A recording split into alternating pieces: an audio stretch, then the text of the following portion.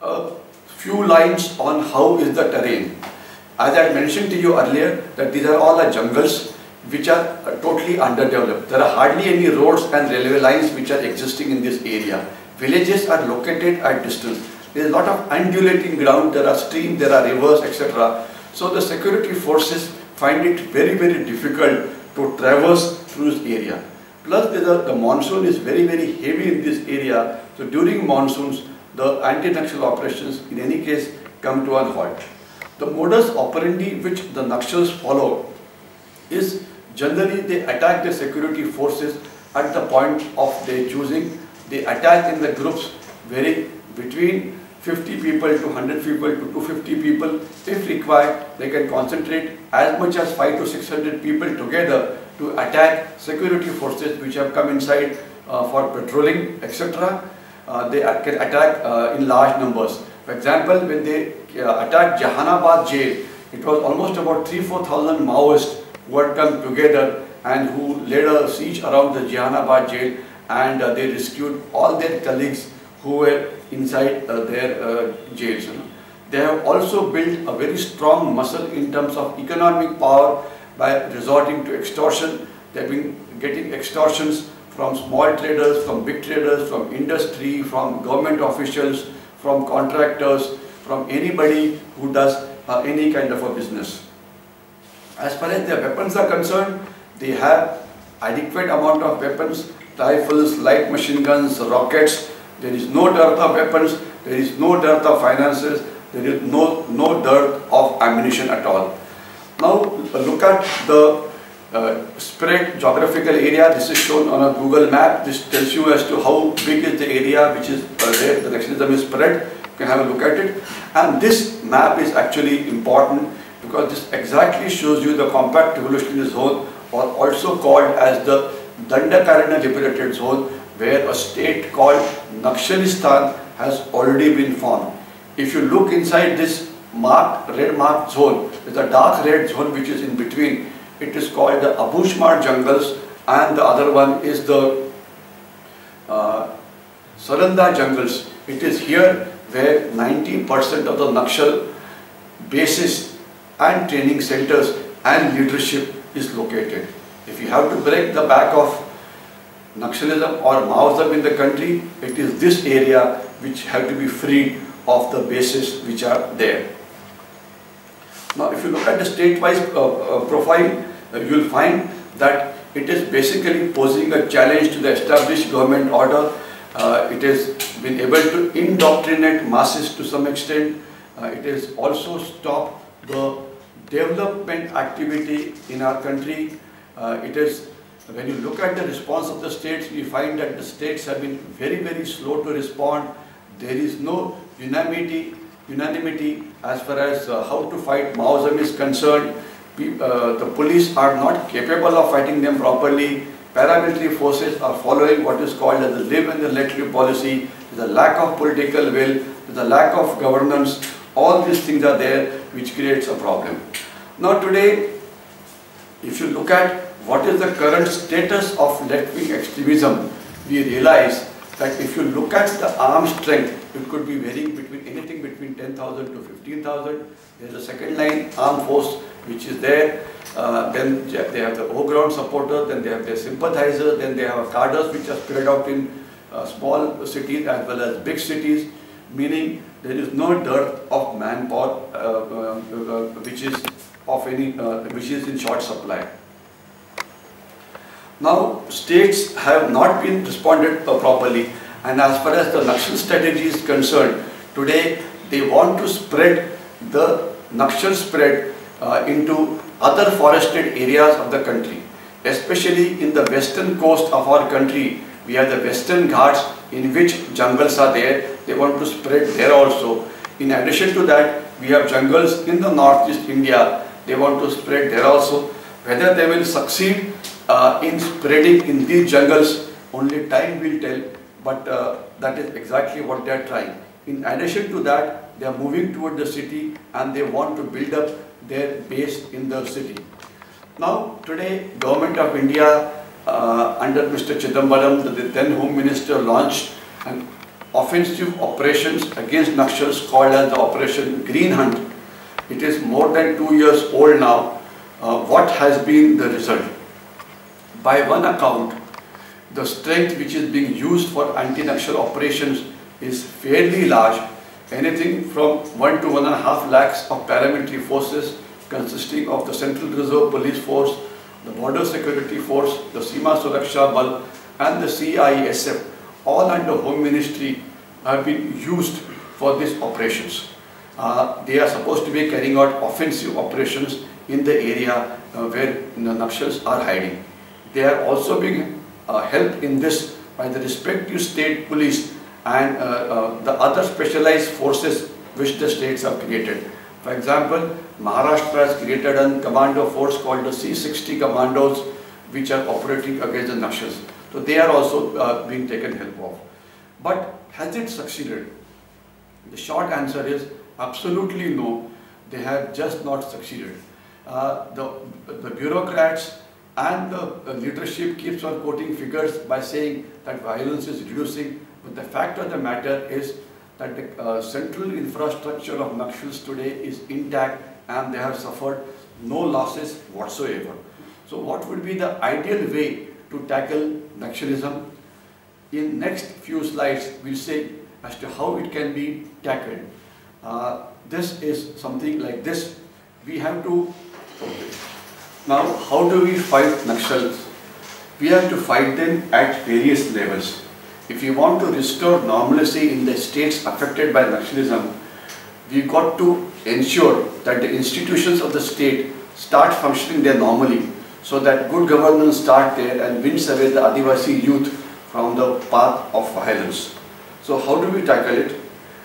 There are five levels in which we can fight the. First is the political level, second is the socio-economic level, third is the administrative level, fourth is the military level, and fifth is the psychological level. We will talk about them one by one. Uh, when we talk of, talk of political strategy, what it means is some representative points are given there. We have to improve governance in this area. We have to carry out peace talks with these people. We have to ensure that the affected people take part in the political process. We have to somehow empower the tribals. Uh, five points have been shown here. It does not mean that only five points can be followed. We can add a few more so as to politically empower the tribals. Second is the socio-economic strategy, which consists of carrying out industrialization in this area. We can develop mining, we can carry out infrastructure development in terms of roads and railways. Uh, land rights must be transferred as early as possible. Irrigation facilities must be extended. We have to have a, uh, forest policies which are friendly to the tribals. Social transformation has to take place. Education and health care in this area has to improve. As far as the psychological strategy is concerned, it is important to tell the people in this area that democracy with all its fault is still the best form of governance. Maoism or the communism uh, has failed even in Russia and in China. Today, Maoism is not even spoken in China. There is no statue of Maoism, Mao, uh, uh, Chairman Mao in China. Mao's name does not find, its, uh, find a mention in the constitution of China. China itself is following policy which is more like Western policies rather than communism policy. The only two countries where Maoism has some place is in India and second is in Nepal. In Nepal too, the Maoist party of Nepal now has been thrown to number three position. So we have to ensure that the tribals understand the importance of democracy. In addition to this, we have to explain to them that violence is a big obstacle for development. As I said earlier, almost every year 10 to 15,000 crores of government property is being destroyed. Is it correct? In addition to this, we have to tell them that their leadership children do not take part in Maoism they stay in big cities, they go abroad, while it's only the tribals whose children are actually being thrown into Naxalism. And we also have to uh, tell them that uh, if you want to stop exploitation, you have to become the part of the system, you have to become the part of the governance, then only can you, can you be, can you improve the system. The next part is the administrative strategy. It, it is not only important to pump money into this area, but you have to monitor the development so that the corruption is reduced to minimum. You've got to have a unified approach. You have to share intelligence. You have to coordinate with each other. You have to carry out training of police, paramilitary forces, CPOs.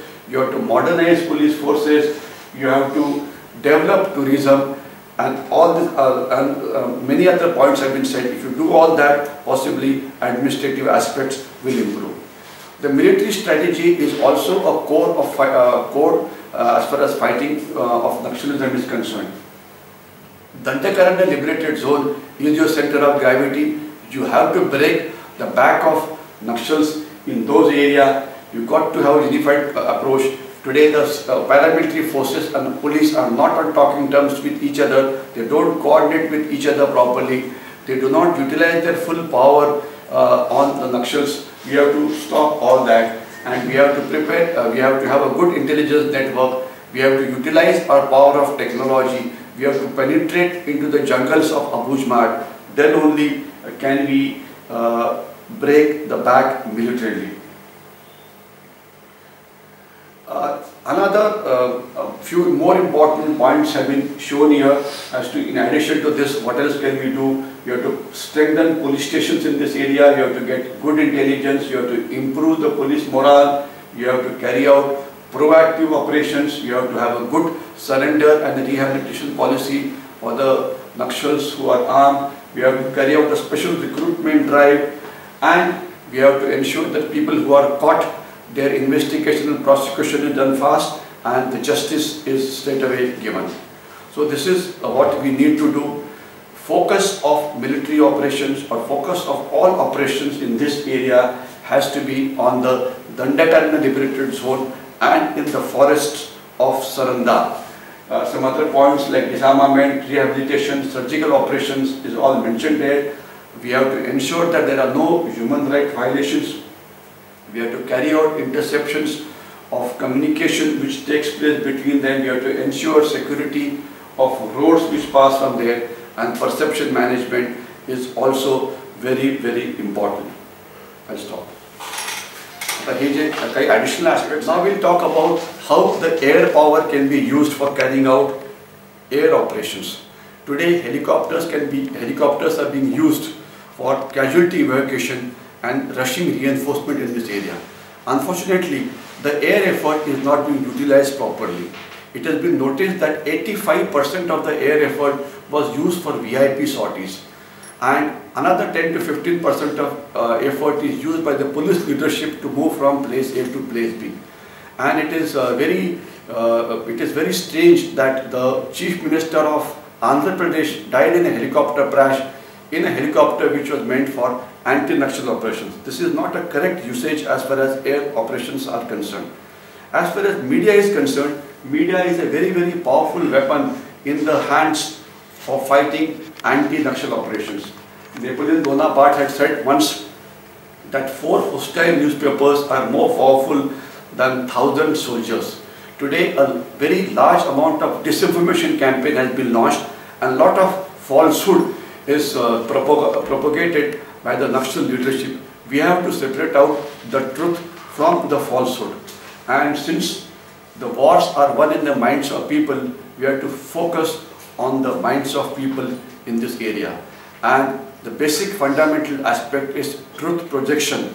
And there are various themes which we can use, which have been shown here uh, to, uh, to uh, carry out a psychological operation against these people so that they understand that what they are doing is not correct.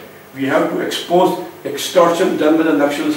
We have to show the kind of operation that they are doing there. We have to uphold the laws of the land. We have to uphold the security of people and their property. We have to secure the environment so that socio-economic development can take place. We have to ensure that government institutions work here and we have to focus on the effect of surrender and rehabilitation of armed cadre. Uh, many more points have been given here. Uh, we run these themes on various people. Definitely the armed youth will get wind away from this. Uh, we'll uh, speak very briefly on the maritime dimensions. The Indian coastline, especially the one nearing Bay of Bengal, is a place from where Naxals receive lot of arms and ammunition from sea, from the arms merchant of Southeast Asia and also certain groups of uh, insurgent groups of Northeast India which are based in the Northeast.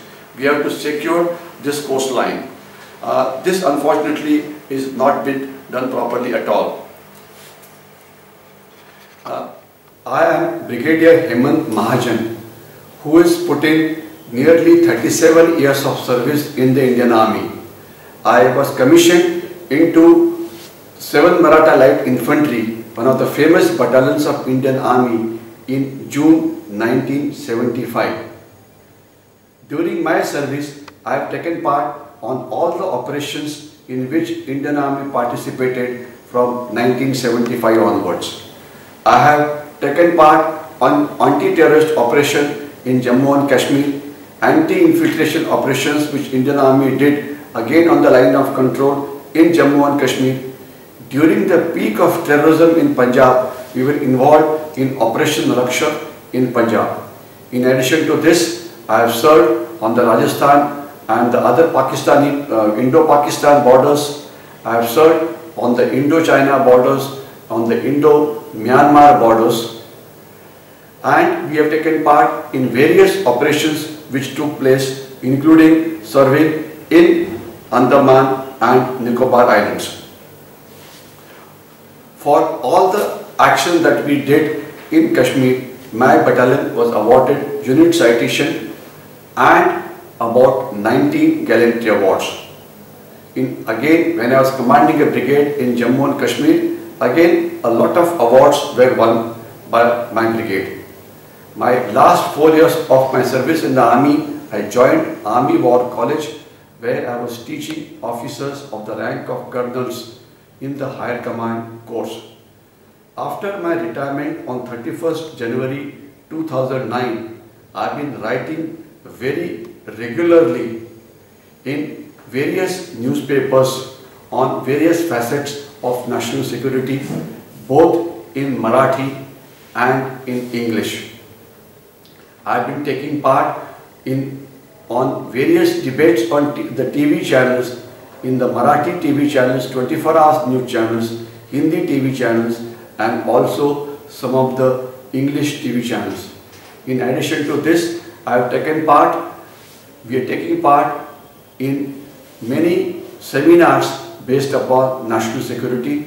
I'm a member of two think tanks, Center for Advanced Strategic Studies based in Pune and Forum for Integrated National Security which is based in Bombay.